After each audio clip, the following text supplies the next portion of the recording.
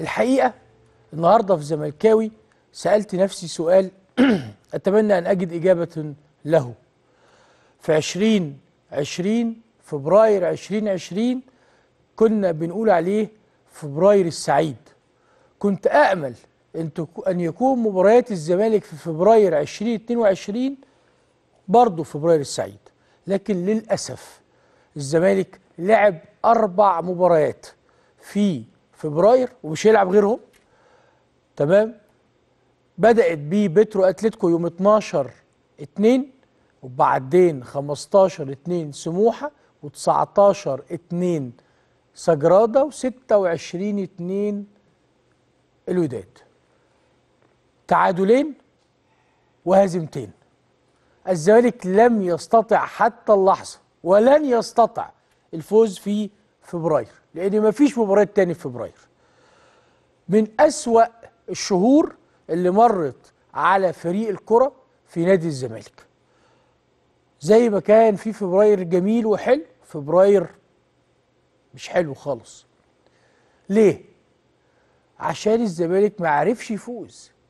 والأسوأ في الأمر أن الزمالك واللعيبة بتاعت الزمالك وكارترون المدير الفني للزمالك ما كانوش على المستوى الفني المأمول الذي نتمناه ونرغبه. لا شك إن الزمالك عنده أسماء قوية كبيرة مميزة خبرات متألقين لكن هذا الشهر لم يكن عنده أي لاعب متألق. في لعيبة تشعر وكأنها خارج الخدمة ما تؤديش وما بتلعبش ليه؟ لا احد يعلم هل ما بيتدربوش؟ بالعكس إحنا بنتابع التدريبات على طول وشايفين الناس كلها بتتدرب وأكيد بتتدرب بمجهود وبتلعب طيب إيه اللي حصل؟ هل المدير الفني هو اللي تخطيطه أو إدارته للمباريات غلط؟ جايز احتمال هل غياب عنصر مؤثر زي طارق حامد له أثر؟ نعم له أثر. لكن الطبيعي إن الزمالك ما يتأثرش بغياب أي لاعب.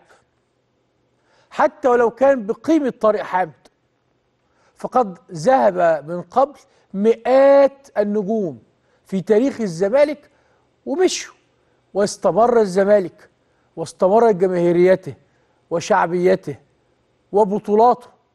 اذا ما يجب أن يكون هناك أثر لغياب لاعب على فريق المفروض العناصر بالكامل قوية. لكن للأسف وبقول للأسف غياب طارق حامد كان له أثر عند الكارتيرون نفسه وعند الفريق. فكانت النتائج دي. طارق حامد آخر مباراة لعبها كانت مباراة سيراميكا كليوباترا. خد فيها الإنذار ما لعبش مباراة غزل المحلة اللي إحنا فزنا فيها وهذا هو آخر فوز رسمي للزمالك. والزمالك رسميا يعني في مباريات الدوري وفي كأس أفريقيا ما فازش ولا مباراة في 2022 انسى كأس الرابطة دلوقتي.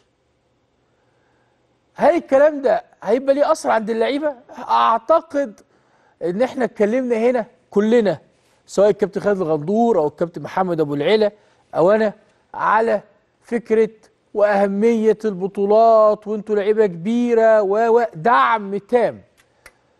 وهم يستحقوا الدعم بصراحة. إما كانوا بيأدوا. طب دلوقتي المفروض نهاجم لعيبة الزمالك؟ لا مش المفروض. المفروض نقومهم نوضح لهم نقول لهم إن إحنا زعلانين. هل اللعيبة متأثرة؟ حسب ما فهمت النهارده هم راجعين في الطيارة كان في حالة تأثر نفسي واضح جدا ليهم. لأنه ظروفهم وموقفهم صعب. كان عاوز قبل ما أروح للموقف عاوز أتكلم على حاجة مهمة جدا. هل يحق أن إنك أنت كمشجع أو كإعلامي تنتمي لنادي الزمالك أن تنتقد لعيبة النادي ولا لأ؟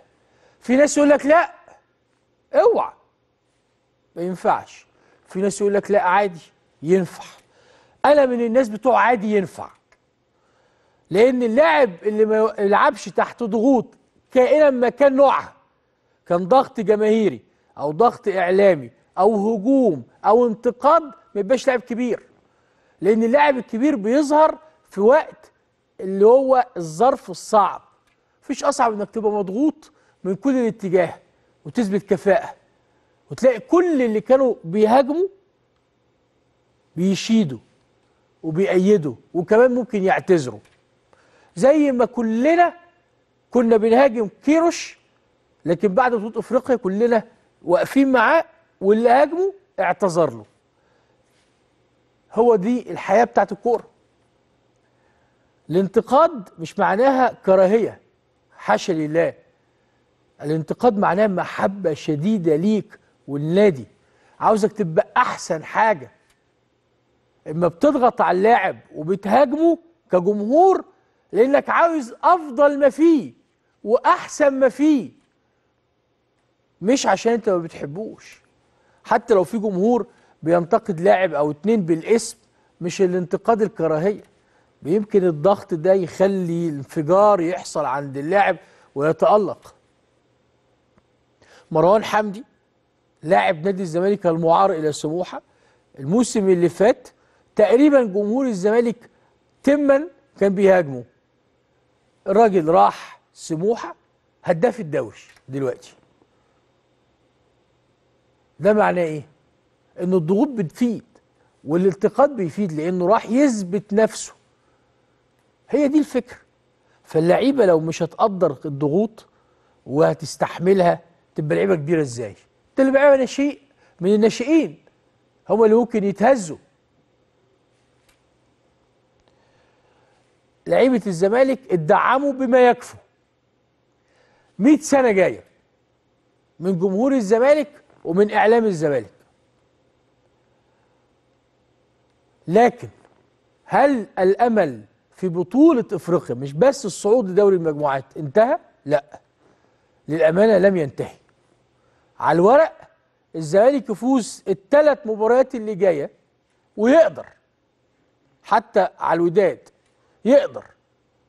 يبقى عنده 11 نقطة ممكن يبقى أول المجموعة كمان. شفتوا؟ موضوع بسيط إزاي؟ لكن هل نحن كمتابعين وأنتم كمشجعين تثقوا في أن اللعيبة والجهاز يقدروا يتخطوا هذه العقبة ويفوزوا الثلاث مباريات اللي جاية ولا لأ؟ أعتقد أن هناك كثيرين ينتابهم الشك في أن فريق الزمالك يقدر يفوز الثلاث مباريات. ليه؟ لأنه ما شفناش منه اللي يقول لنا أنه يقدر يفوز. في أربع مباريات في شهر أربع مباريات في شهر واحد اللي هو شهر فبراير يعني ولم يستطع الزمالك الفوز فيها. بالعكس الزمالك في 2022 ما فاز. أرجع تاني أقول لكم انسوا كأس الرابطة. ومع ذلك أدينا أداء وحش برضه. ودي كانت الإشارات.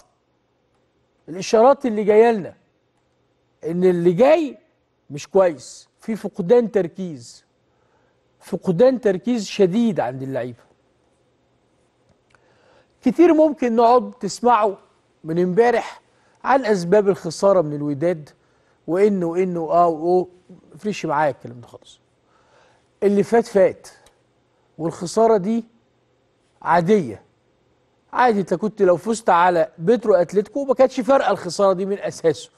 عندك أربع نقاط وطبيعي إنك تخسر لا عادي لو خسرت بره المهم تفوز في أرضك لكن أنت ما فزتش في أرضك.